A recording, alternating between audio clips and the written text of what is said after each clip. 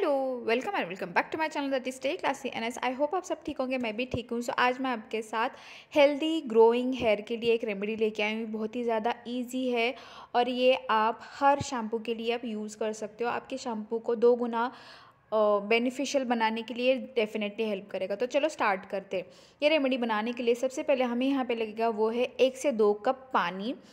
उसमें हम ऐड करेंगे करी लीव्स ठीक है? करी लीव्स को हम पानी में अच्छे से बॉईल करेंगे। जब तक इसका कलर चेंज नहीं हो जाता, तब तक हमको अच्छे से पानी में इसको बॉईल करना है। जब तक ये ग्रीन कलर में कन्वर्ट नहीं हो जाता, एक पाँच मिनट या पाँच या दस मिनट के लिए आपको अच्छे से बॉईल करना है।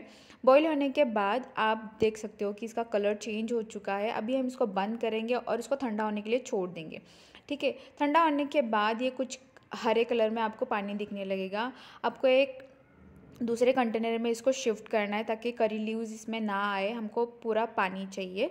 तो यहाँ पे मैंने एक मग में पानी लिया है।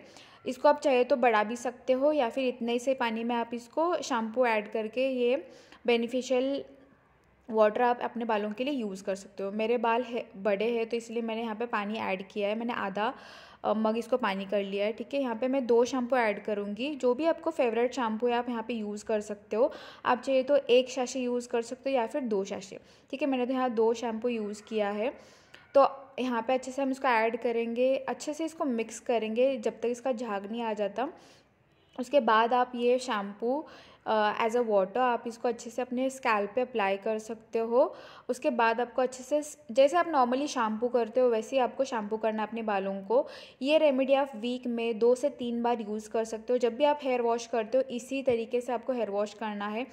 करी लीव्स हमारे बालों के लिए बहुत ही ज़्यादा हेल्दी होता है, बहुत ही बेनिफिशियल होता है बिकॉज़ करी लीव्स में vitamin C vitamin B proteins और एंटीऑक्सीडेंट प्रॉपर्टीज़ पाए जाते हैं। यह हमारे बालों को हेल्दी बनाने में, अपने स्कैल्प को क्लीन बनाने में हेल्प करता है। साथ ही हमारे हेयर की ग्रोथ को प्रमोट करता है और आपके बालों को बहुत ही ज़्यादा लंबा, घना बनाने में आपकी हेल्प करता है।